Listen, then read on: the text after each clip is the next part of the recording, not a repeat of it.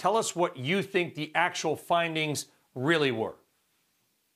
Yeah, look, this is very complicated, Brian. The, uh, the, the, the fact is that there was about a 60% reduction in the immunizing or protective activity um, of, of the uh, people who've been immunized with the BioNTech vaccine against the B351 or 1351 South African variant. So it's about a two thirds reduction, but that doesn't mean that there's no immunity.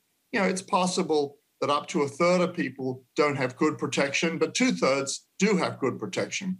And this is very consistent with what we've seen from some of the other vaccine companies who've said, look, you don't get the 95% protection that you get, for example, against the original virus, but you're still probably going to get something in the range of 50%, which is you know, still much better than nothing. So um, I don't think that we should uh, accept, expect that there's zero protection, but equally, um, there's going to be some definitely some uh, diminution of what we would get. Yeah, and, and uh, again, if uh, please, if I'm wrong about anything, Geoffrey, because this is very complicated stuff, and I and I'm trying to learn it for the last few months. And as I understand, for first off, I think general vaccine, the flu vaccine is 59% effective overall. So people expect vaccines to be 100% effective. That's that's not the case.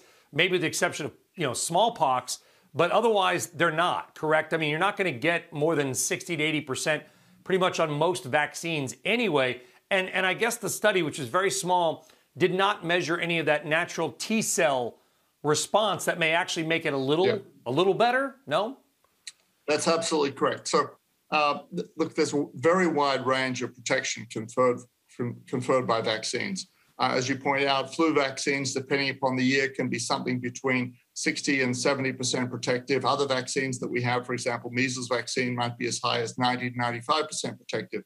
Um, so, you know, the, as you will recall, the FDA sort of put a line in the sand and said 60% is what we need to see um, to approve a vaccine. And I think that that's a, a, a, pretty widely accepted standard. Now, as you, you also point out, there are a number of ways that the body protects us uh, against future exposure to a virus or a bacteria or anything. It's not just down to antibodies. We have a whole other side of the immune system called the cell mediated immunity, which is T cells. And and they respond very effectively, but they respond more slowly. So one of the things that could easily play out is that we retain cell mediated, immunity, uh, specifically from the T cells, but that that takes longer. So we get protection against severe disease, but we don't mm-hmm. get the protection against infection. So uh, as you point out, this experiment did not look at any aspect of, of T cells. It didn't really look at functional immunity. All it looked at was the antibody titers in the plasma of the individuals who'd been vaccinated and whether you could dilute that plasma and still suppress the, the replication of the virus in a cell culture system. So it's a very isolated experiment. Um, and, and, as I said, practically, it's a two thirds reduction, but it ignores yeah. the way the whole human body responds to a virus or bacteria. Yeah, and we need to take it as such. And very quickly, there was an article last night that one shot of Pfizer may be up to 95% effective. That came out of a study, I believe, in Israel. The bottom line is this we should be bullish on that Pfizer BioNTech vaccine against uh, a number of variants, or at least partially so?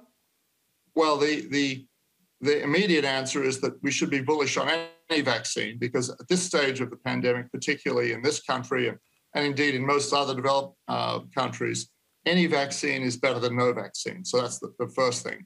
Um, secondly, in terms of the mRNA, particularly in the Pfizer BioNTech vaccine specifically, um, it's very effective now against most of the circulating viruses. It retains some effectiveness against these variants, such as the South Africa variant, the Brazilian variant.